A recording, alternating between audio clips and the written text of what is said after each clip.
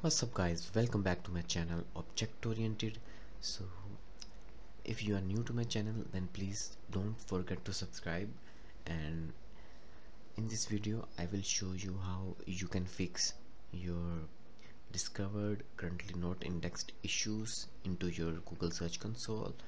So my website link is talkchats.com and mm, in this website I'm facing these errors. So in this video I'm just going to talk about discovered currently not index uh, issue. So you need to click on this tab and then you need to click on inspect URL of this uh, specific link.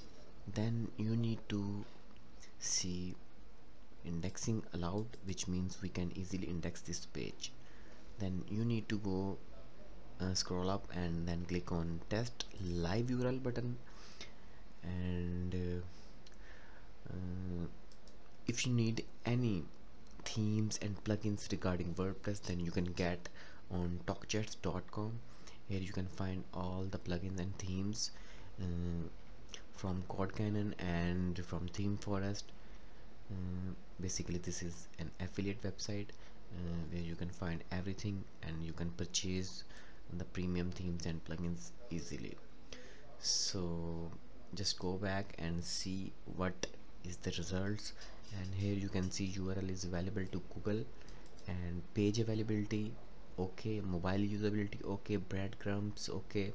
Site links search box okay. So you need to click on request indexing button and then you need to wait uh, just one to two seconds and indexing requested. URL was added to a priority crawl queue and submitting a page multiple times will not change its queue position or priority. So you need to just do this one time don't do this again and again it will create a negative impact. So uh, after doing that you need to wait uh, up within 24 hours uh, your page will be indexed on Google. And the issue you need to go back and click and then click on validate fix. And uh, it will take just few seconds. And as you can see validation uh, started.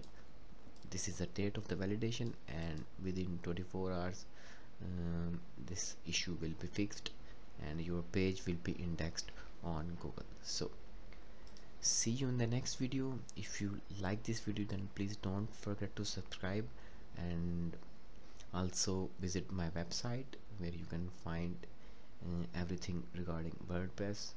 So see you in the next video. Take care